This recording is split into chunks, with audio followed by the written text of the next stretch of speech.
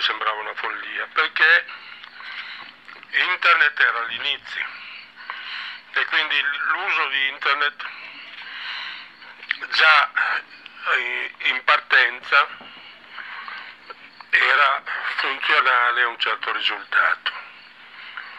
Ora, Arte Futura invece nasceva con l'idea di raccogliere il, elevatissimo di opere d'arte, fotografie, poster, cataloghi d'arte, libri d'artista, riviste d'arte, cioè tutto quanto concerne l'arte. È chiaro che è un'impresa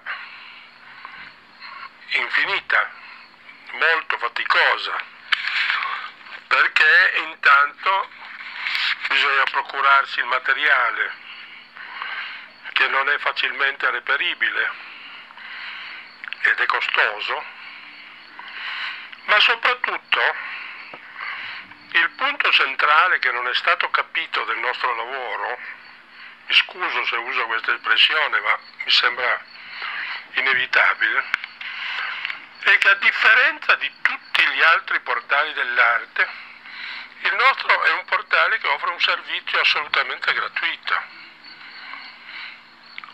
Non c'è dubbio che vedere un'opera d'arte dal vivo ha un'efficacia, un impatto diverso che vederla sullo schermo, sul web. Resta il fatto che talune opere, mi riferisco per fare un esempio solo ai primordi, alle opere di inizio di Andy Warhol, sono praticamente eh, nell'impossibilità di essere viste dalla grandissima maggioranza, la quasi totalità delle persone. Altrettanto dicasi per artisti che ormai non sono più, come dire, ehm, esposti con molta frequenza nelle, nelle fiere, nelle aste, eccetera, solo occasionalmente. Penso per esempio a St. Francis. E quindi tutta una serie di opere sono state messe sul portale per rendere possibile quantomeno un primo approccio di conoscenza a queste opere. Quindi uno stimolo per approfondire e, e, e stimolare eh, l'approfondimento della conoscenza degli artisti che eventualmente interessano. Ora tutto questo ha avuto ed ha un costo elevatissimo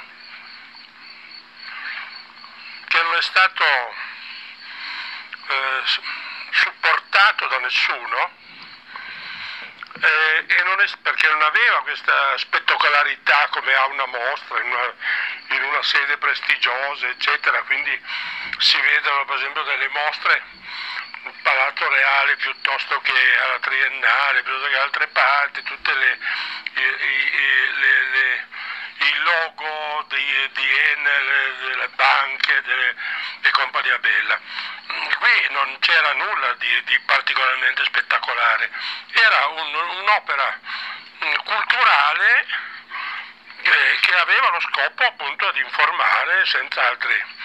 E quindi tutta questa spesa, tutto questo lavoro è stato affrontato eh, faticosamente da me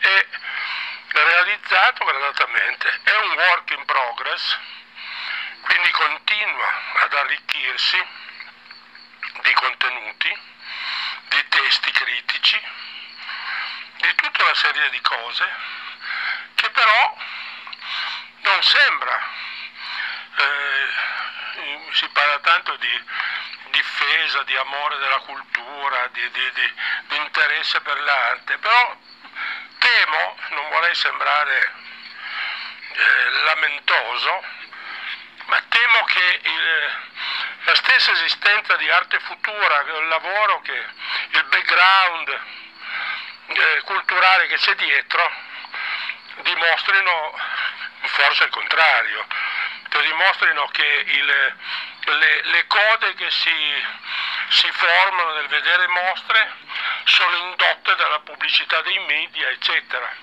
quando invece, come nel caso di Arte Futura, è una libera scelta. E noi nella pagina di registrazione chiediamo semplicemente di, a chi vuole, ovviamente, liberamente, di contribuire con un, secondo le proprie possibilità. Ebbene, vent'anni di lavoro, il portale è nato nel 1994, siamo nel 2014, in vent'anni di lavoro, con queste mole enorme, perché poi ci sono costi di carattere tecnico, cioè per realizzare tecnicamente il portale è necessario fare ricorso a tecnici che vogliono essere pagati, quindi c'è anche un costo piuttosto rilevante. In vent'anni di lavoro noi abbiamo raccolto qualcosa come 470 euro. Penso che sia una dimostrazione abbastanza evidente, chiara, di quanta eh, stupidità, di quanta ignoranza di fondo ci sia in Italia, perché noi abbiamo creato questo portale in Italia. E può sembrare offensivo, io non voglio offendere nessuno ovviamente, non è personalizzata questa mia considerazione generale, però è un fatto, è un fatto assolutamente lapalisiano, che avendo la disponibilità di leggere testi, di controllare cataloghi, di vedere cose, eh, questo portale probabilmente se fosse nato in un altro paese magari anche col supporto delle, degli organi competenti, come si dice, avrebbe avuto un successo enorme. In Italia eh, non, non, è che ha avuto un successo enorme, non è stato completamente ignorato, è completamente ignorato. E quelli che visitano il portale sono in parecchi, c'è una minoranza esigua, abbiamo detto prima, 470 euro in 20 anni. Ecco, di, di fronte a questo io mi auguro che venga capita la crudezza della mia esposizione, che mi pare del tutto giustificata, perché qui non stiamo parlando di chiedere qualcosa o di fare un qualcosa per qualcuno, qui è, è assolutamente un servizio culturale di informazione che non ha altri fini. Cioè non è che noi facciamo pubblicità a un artista piuttosto che a una galleria, piuttosto che a noi stessi, assolutamente no. Noi ci limitiamo a raccogliere, continuiamo a raccogliere con un lavoro da certosino, perché chiunque abbia una minima dimestichezza con il web sa che è un lavoro non non semplice il fatto di, di l'uso del Photoshop, inserimento in rete, eccetera, eccetera, opera per opera. Quando le opere, come nel nostro caso, cominciano a essere decine di migliaia, è un lavoro enorme che nei, nei paesi normali è supportato dagli organi pubblici, quelli cosiddetti preposti alla cultura e anche magari sovvenzionato da queste società che usano la cultura per, per la pubblicità loro. Noi eh, siamo fuori da tutto questo. Non è che abbiamo scelto di essere fuori per essere onesti. Siamo fuori semplicemente perché abbiamo privilegiato il lavoro di approfondimento, di raccolta, eccetera, eccetera, piuttosto che eh, l'aspetto di marketing, di promozione, andando in giro a, a, a, a cercare supporti politici, appoggi politici, economici, eccetera, eccetera. Forse non siamo capaci a farlo, forse abbiamo sbagliato tutto, non, non voglio per carità, questo è un fatto, però arte futura è qui, la pagina di registrazione è sempre presente, le opere sono visibili da chiunque, esiste sul, sull'home page un motore di ricerca, uno cerca un artista e, e, e nel 95% dei casi lo trova, si guarda le opere,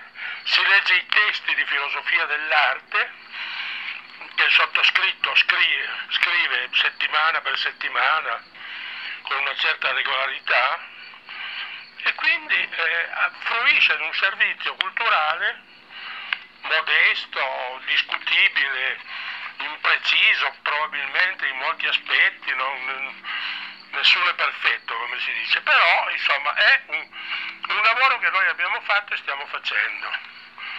E, in, e questa mia eh, presentazione nasce dal fatto che eh, il, le, le persone con le quali capita di parlare esprimono molto entusiasmo per il lavoro.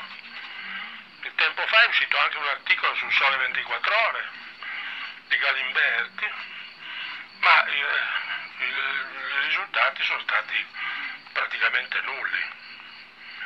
E quindi offriamo questo mio crudo, e mi scuso per la mia diretta franchezza, eh, considerazioni vere e ognuno tragga le conclusioni che crede.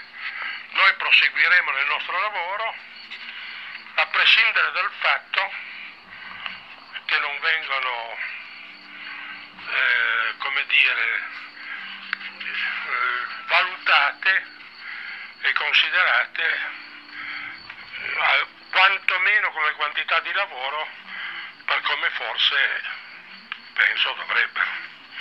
Vi ringrazio per l'attenzione. Buonasera.